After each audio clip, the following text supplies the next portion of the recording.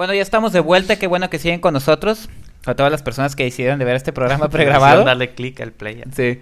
Entonces, eh, lo que acaban de ver fue, bueno, se llama Terror en Silent Hill, Revelaciones. Un título bien largo, ¿no? Sí. Y aparte 3D al final. 3D, sí, cierto. Que, que sí lo vendieron toda la promoción.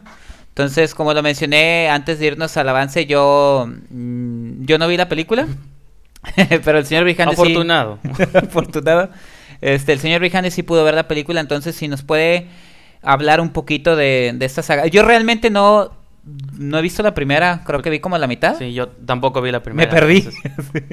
Entonces, no sé qué, no, qué nos puedas decir sobre el terror en Silent Hill. Voy a ser breve y todo para darle paso a este programa. Este, yo no vi la primera parte tampoco, pero hay veces que ver la secuela no es necesario para ver la, primera parte. Y de hecho yo, diría yo, diría que ver la primera no es necesario para entender lo que pasa en la segunda. Este, desafortunadamente no la vi en 3D, pues la vi en 2D y a pesar de que sí ves los truquitos, ¿no? Que, que la sangre y las hachas que pasan por enfrente de la pantalla. Este, la, la película eh, se trata de...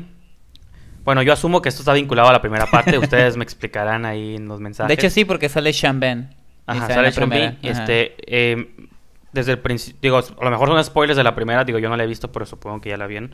Empieza de que la, la mamá o la esposa de Sean Bean está atrapada este, de, un lado, de un lado del espejo y del lado de, los, de nosotros está el papá, que es Sean Bean, y está la hija, ¿no? Pero eh, supone que la historia es que el papá y la hija se, se están moviendo de ciudad a cada rato porque en las pesadillas de la niña todo el tiempo le están hablando monos diciéndole que vayan a Silent Hill, ¿no?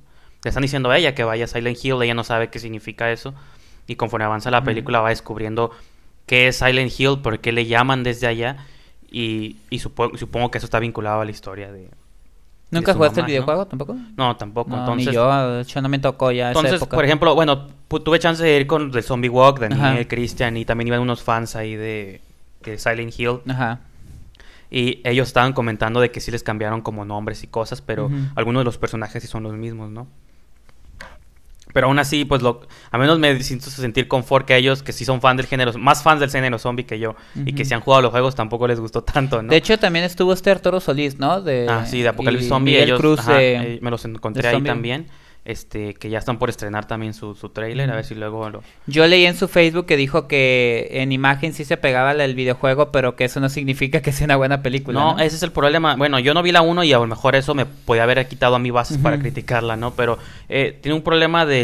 Es una historia como muy confusa y no tiene como una estructura muy muy clara, ¿no? Es como, ok, eh, lo interesante, por así decirlo, es que todo el tiempo la morra está teniendo, este fantasía, bueno, fantasía, son como imágenes, ¿no? De imagi se imagina, voltea a ver a un señor y cuando parpadea ya es un monstruo. Y es como muchas alucinaciones, ¿no? Que la, y lo de las alucinaciones son los efectos, las tripas, bueno, para los que nos gusta el gore, ¿no? Y eso.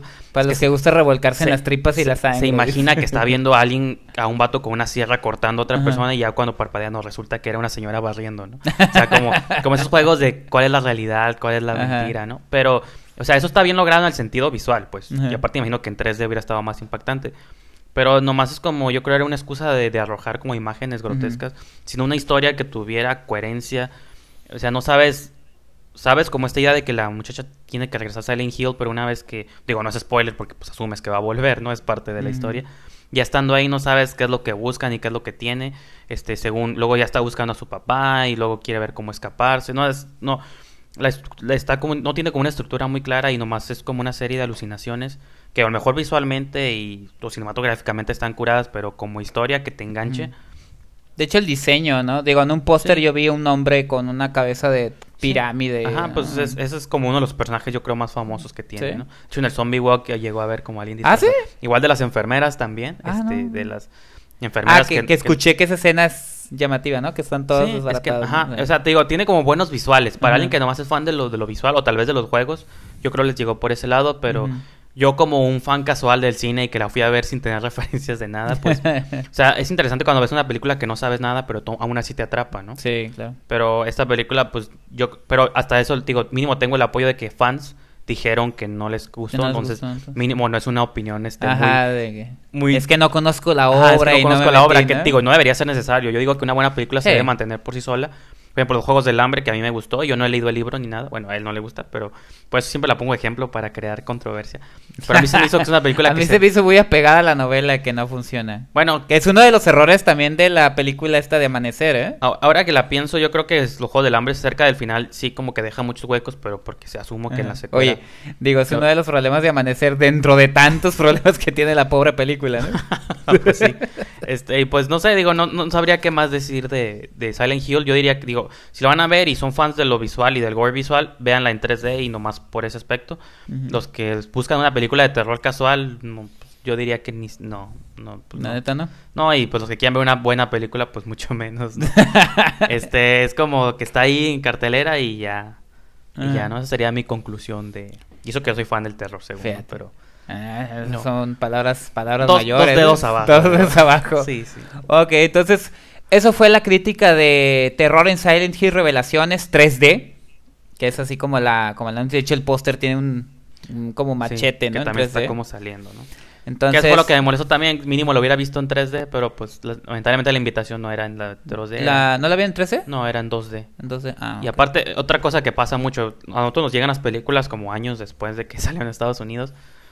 Entonces las- los, los rollos ya están gastados, ¿no? Entonces ya, Ah, las ves llenas de rayitas y el De hecho, aquí nos llegó después de que se estrenara en la Ciudad de México. En la Ciudad de México se estrenó hace como dos semanas. Por ejemplo, una, una gran diferencia a una película que ahorita vamos a mencionar, obviamente, pero Ujú. nomás para decir la diferencia en cuanto a proyección, la de Santos contra la Tetona Mendoza, que bueno, a pesar de que es mexicana y que las cosas que puedan decir, como acabamos, como estrenamos proyección, y de hecho pues yo vi la primera función del día, este, la, la imagen sí estaba súper limpia, bonita, los colores, aparte tiene buenos colores, ¿no? La caricatura. Es que ahí tenemos la ventaja de que las, las bueno, adelantarnos también las copias son, fue una, fue una, tuvo una distribución masiva, entonces nos llegó una copia eh, nueva Ah, Entonces, a cada sala. es- digo, como la gran diferencia entre ver una, ahí es donde ves la diferencia entre ver un rollo nuevo. Por ejemplo, cuando vimos Arbitrage, también era un rollo ya bien gastado. ah, porque- sí, se mira, eso no lo mencionaba, se miraba muy mal, ¿eh? Ajá, entonces digo, como, eso es como, aunque uno dice que no, por eso el digital, pues ya ahorita es el estándar, porque ahí es donde tú notas la diferencia. Ves un rollo ya bien gastado, se parece Grindhouse, pero eso no es la idea. Pero no es, Esa eso no es la idea, es que la cinta Este, a lo mejor Silent Hill, pues ¿no? la pasas porque es terror, ¿no? Pero,